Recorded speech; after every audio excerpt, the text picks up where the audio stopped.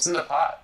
It's a dish that I've been preparing for like a month already. I just put in the pig feet and the eggs like last week. Why is it black? It's black because of the vinegar. I It's really- I mean, the taste is the vinegar is great. The gravy is great. No, I don't want that.